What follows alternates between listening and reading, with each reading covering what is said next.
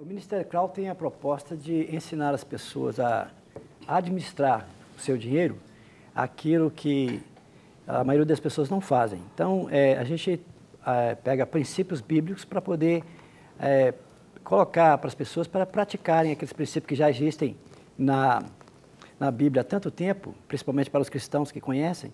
É, se ele pautar a vida dele financeira pelos princípios, com certeza ele vai estar no azul, não só em dezembro, mas de janeiro até dezembro. E como é que a pessoa faz para poder fazer um curso desse? O que ele precisa é fazer? É só ligar para a central das redes da Igreja Batista da Lagoinha, melhor, central das inscrições, e nós temos dois. Sabe dois o telefone? É, não, o telefone da Igreja Batista da Lagoinha. Você sabe de cor, não? Não, não sei de cor. Não. Eu acho Eu vou que pedir é a 4... produção para procurar para a gente tá. colocar ali. Acho que é 429-9500. O telefone geral. 429-3429-4500. 9.500, é. Mas é, o curso é dado em 12 semanas, são 12 encontros, uma vez por semana. E tem dois, do, é, nós damos um curso no primeiro semestre e um curso no segundo semestre. As turmas são com 10 alunos, pode ser casal, pode ser solteiro, mas sempre em número de 10. Tem alguma idade? Não, não existe anuidade, não existe nenhum curso. Ele tem não, não, só... desculpe. Idade. idade. Ah, não. A idade também não, não, não tem nenhuma.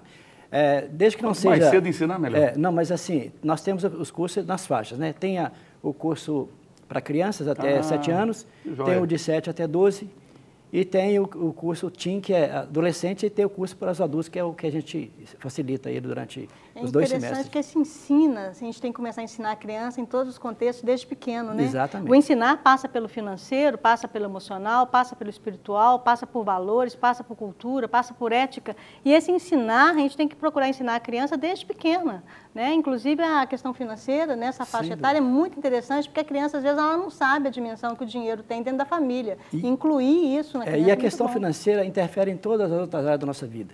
Se a pessoa estiver endividada, ela não tem alegria para fazer nada.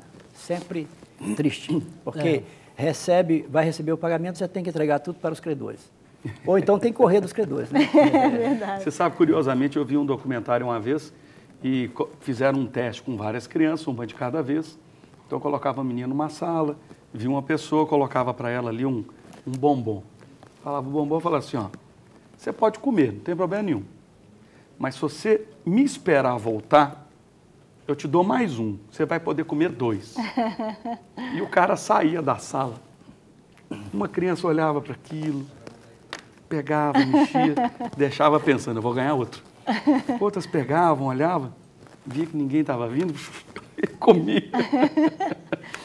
ô, ô, Carla, eu conheço pessoas que ficam ansiosas quando não tem dinheiro. E continuam ansiosas quando o dinheiro chega. Na hora que ela está em débito, ela fica doida. Na hora que de repente que ela vende alguma coisa, tem um dinheiro para aplicar, vai fazer uma poupança, vou comprar um carro, vou comprar isso, vou comprar aquilo.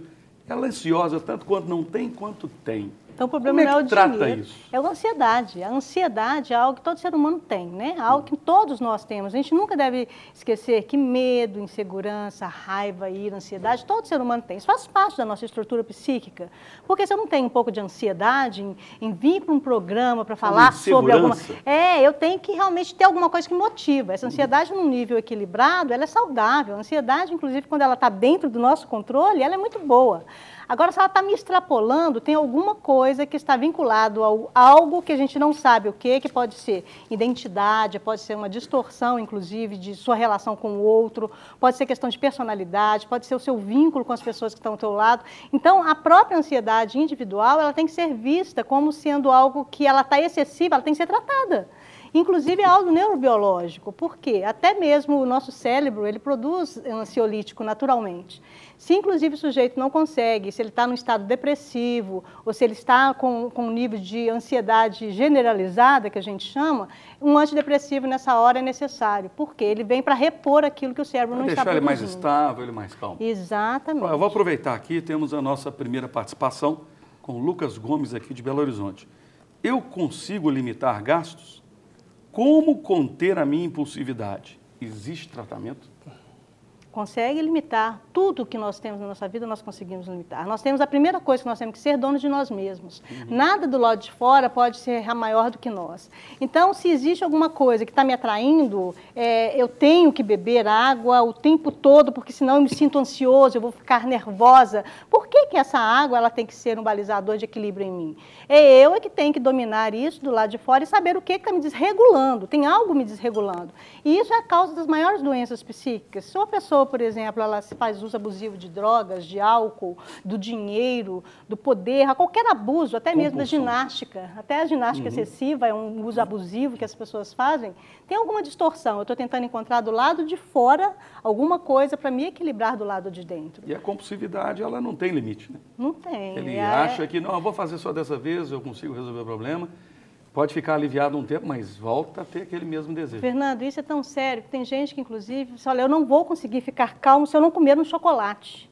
Você tem que conseguir realmente ser superior ao chocolate. Se o chocolate é o seu balizador de equilíbrio, tem alguma coisa errada, tem uma relação distorcida. Você comentou o fato de talvez a pessoa ter que tomar um ansiolítico. O que, que a pessoa deveria fazer se ela sente que ela é compulsiva demais? Procurar um tratamento psiquiátrico. Inclusive, as pessoas acham que médico psiquiátrico é só para doido. E eu sempre falo, psiquiatra é para não deixar você ficar doido. Porque da mesma forma que a gente tem que tomar um remédio para o coração, que a gente tem que tomar um remédio para o fígado, um remédio para dor de cabeça, e o médico é que tem que eh, nos diagnosticar, porque a maioria das pessoas, inclusive, tem de médico e de louco, todos temos um pouco, né? As pessoas, não, eu mesmo vou tomar por mim mesmo, eu mesmo vou prescrever o meu remédio. Não é isso. É um psiquiatra que tem que receitar. Por quê? Uhum. Existem efeitos colaterais. Então, o psiquiatra ele vai ver, olha, esse remédio para você não vai dar legal, porque você não está dormindo à noite. Então, esse vínculo tem que ser acompanhado e também o psicólogo, porque é ele que vai na causa do problema. O, o, o psiquiatra vai diagnosticar o sintoma. Isso aí, Lucas. Eu espero que tenha conseguido responder a sua dúvida. Bom, a Amanda, aqui de Contagem, pergunta: como eu faço para conter gastos? Tirar coisas que eu preciso das que eu não preciso? Pois tenho uma dívida e quero tentar pagar. Nós conversamos até sobre isso, Erasmo. Exatamente. A primeira coisa que as pessoas têm que ver é o seguinte: dívida. Toda vez que você faz uma dívida, seu salário diminui. Então, esse é o alerta. Toda vez que você compra financiado, vai sobrar menos no próximo mês. Então, esse é o primeiro planejamento que as pessoas têm que fazer. Depois, dentro de um orçamento mensal, vocês têm, você tem os gastos que são necessários e os gastos que são desejados. Muitas vezes as pessoas se balizam no supérfluo. Eu acho que não existe supérfluo. Existe necessidade e desejo, e existe o que eu tenho dinheiro para comprar e o que eu não tenho. Uhum. Não adianta você querer um desejo. Por exemplo, eu terminei o meu mestrado agora e eu estudei qualidade de vida e endividamento. Muitas vezes, para você ter uma qualidade de vida melhor, ah, eu quero ter um carro melhor, eu quero ter uma casa melhor, eu quero ter um celular melhor, um smartphone, como foi mostrado na reportagem ela financia um smartphone, mas não tem dinheiro para colocar crédito no smartphone. É verdade. Fica dando toquinho. Então, tem alguma coisa errada aí. Você tem dinheiro para comprar um, um smartphone de mil, dois mil reais, mas não tem como pagar uma conta.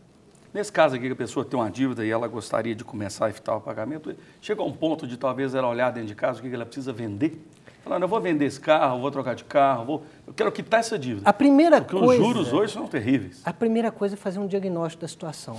Muitas pessoas falam assim, eu estou devendo, mas não quero nem ver quanto eu estou devendo. Quem não quer nem ver não vai pagar nunca. Né? Então, a primeira coisa é colocar no papel é as condições. Né? Ah, eu tenho uma dívida aqui, eu tenho um cartão de crédito, cheque... Por exemplo, o cheque especial. Chama cheque especial. É para usar numa ocasião Especial. Especial. Né? Tem gente que usa todo mês, está errado. Vira né? o salário, incorporou vira, o salário, vira, né? Vira um cupim que come o orçamento da pessoa todo mês. Hoje, eu, essa semana, eu atendi uma pessoa que está pagando todo mês 500 reais há mais de um ano. E só de juros? Só de juros do cheque especial de 5 mil reais dela que ela tem. Hum. E não sai. E também não estoura. Então, ela controla. Então, eu falei com ela, se você não tiver, se você conseguir pegar um 10 terceiro, acabar com ele, ou até pegar um empréstimo e acabar com ele, você paga a prestação, mas você tem que acaba, ter né? a disciplina de não entrar nele de novo. Uhum. E as pessoas, não, eu não consigo viver sem cheque especial. Consegue, consegue, é perfeitamente possível. Você tem que acabar com ele. Mesma, mesma coisa, pagar o cartão de crédito todo no vencimento. Uhum. Cartão de crédito é uma excelente ferramenta de, de consumo, mas é a principal forma de eliminar, de endividamento das pessoas hoje. Então tem que saber quanto mais parcelas você faz, é errado, porque soma muito, parcelinha, parcelinha, parcelinha, é igual uma faturona e fica difícil de pagar. É então, as pessoas têm que ver a sua realidade para depois tomar alguma medida. Antes de vender alguma coisa, Fernanda, ela pode, por exemplo, trocar uma dívida, pode diminuir algum gasto, que eu falo que é desejo no orçamento dela. A maioria do erro das pessoas hoje é aquilo que é desejo transformar aquilo em necessidade.